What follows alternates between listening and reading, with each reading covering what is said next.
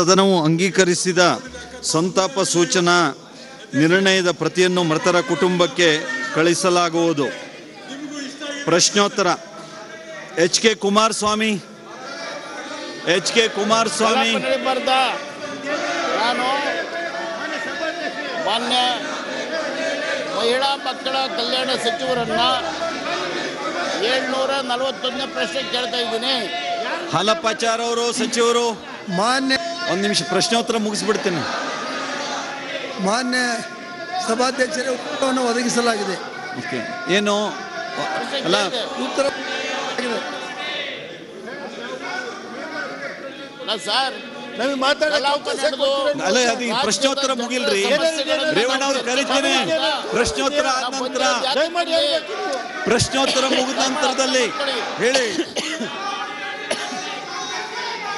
ಮಾನ್ಯ ಮಹಿಳಾ ಮಕ್ಕಳ ಸಚಿವರನ್ನ ಪ್ರಶ್ನೆ ಕೇಳ್ತಾ ಇದ್ದೀನಿ. ಕೇಳಿದ್ದಾರೆ ಅವರು ಉತ್ತರ ಮಂಡಿಸಿದ್ದಾರೆ ಮುಂದೆ ಹೇಳಿ ಮುಂದೆ ಉಪ ಪ್ರಶ್ನೆ ಏನಾದ್ರು ಇದೆಯಾ? ಸಭಾಧ್ಯಕ್ಷರೇ ಈಗ ಕೊಟ್ಟಿದ್ದಾರೆ ಅಂಕಿಅಂಶ ಕೊಟ್ಟಿರ್ತಕ್ಕಂಥ ಭೌತಿಕ ಗುರಿ ಅತ್ಯಂತ ಕಡಿಮೆ ಇದೆ. ಮತ್ತು ಪ್ರತಿ ಮಹಿಳೆಯರು ಕೂಡ ಉದ್ಯೋಗಿನಿ ಯೋಜನೆಯಲ್ಲಿ ಹೆಚ್ಚು ಇದೆ. ಜಾಸ್ತಿ ಮಾಡಿ. ಮತ್ತು ಬುದ್ಧಿ ಮತ್ತು ಆಧಾರ್ ಯೋಜನೆಯಲ್ಲಿ ಸುಮಾರು ಹದಿನಾಲ್ಕು ಲಕ್ಷ ಅಂಗವಿಕಲಿದ್ದಾರೆ.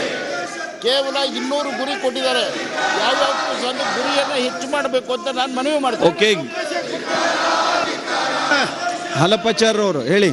ತಾವು ಉದ್ಯೋಗ ಯೋಜನೆಯಲ್ಲಿ ಏನು ಹೆಚ್ಚಿಗೆ ಕೇಳ್ಬೇಕಂದಿದ್ರಿ ಏನು ಕೊಟ್ಟಿರ್ತಕ್ಕಂಥ ಇಪ್ಪತ್ತೊಂದು ಇಪ್ಪತ್ತೆರಡನೇ ಸಾಲಿನಲ್ಲಿ ಒಂದು ಸಾವಿರದ ನಾನ್ನೂರ ಎಪ್ಪತ್ತೊಂಬತ್ತು ಭೌತಿಕ ಗುರಿ ಮತ್ತು ಹದಿನೈದು ಕೋಟಿಯನ್ನು ಇವತ್ತು ನಾವು ಅದಕ್ಕೆ ನಿಗದಿಪಡಿಸಿದ್ವಿ ಹಾಗೆಯೇ ವಿಕಲಚೇತನರಾಗೂ ವಿಕಲಚೇತನರ ಹಿರಿಯ ನಾಗರಿಕರ ಸಬಲೀಕರಣದ ಇಲಾಖೆಯಿಂದ ಇಪ್ಪತ್ತೊಂದು ಇಪ್ಪತ್ತೆರಡನೇ ಸಾಲಿನಲ್ಲಿ ನಾನೂರು ಇವತ್ತು ಭೌತಿಕ ಗುರಿ ಮತ್ತು ಎರಡು ಕೋಟಿಯನ್ನು ಇಟ್ಕೊಂಡಿದ್ದೀವಿ ತಾವೇನು ಹೆಚ್ಚು ಕೇಳ್ತಾ ಇದ್ದೀರಿ? ಆ ನಿಟ್ಟಿನೊಳಗೆ ನಾನು ಪ್ರಯತ್ನ ಮಾಡ್ತೀನಿ. ಅವರು ಅದನ್ನು ಪರಿಶೀಲನೆ ಮಾಡ್ತೀನಿ ಅಂತ ಹೇಳಿದ್ದಾರೆ. ಕುಮಾರಸ್ವಾಮಿ ಅವರು ಮೈಕ್ ಹಿಡ್ಕೊಳ್ಳಿ ಕೇಳುತ್ತೆ. ಅವರು ಪರಿಶೀಲನೆ ಮಾಡಿ ಹೆಚ್ಚು ಮಾಡೋದಕ್ಕೆ ಅವಕಾಶ ಮಾಡ್ತೀವಿ ಅಂತ ಹೇಳಿದ್ದಾರೆ. ಗುರಿ ಹೆಚ್ಚು ಮಾಡಿ ಅದನ್ನು ಹೇಳಿ ಅದನ್ನು ಪರಿಶೀಲಿಸ್ತೀನಿ ಅಂತ ಹೇಳಿದ್ದಾರೆ. ಓಕೆ ಹಾಲಪ್ಪ ಹರ್ತಾಳ್. ಹರ್ತಾಳ್ ಹಾಲಪ್ಪ.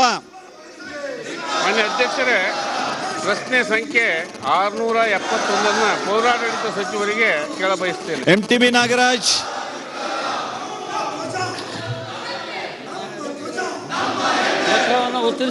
ಹೋಗಿ ಉತ್ತರ ಕೊಟ್ಟಿದ್ದಾರೆ ಹಲಪ್ನವ್ರು ಏನು ಕೇಳೋದಿದ್ಯಾ?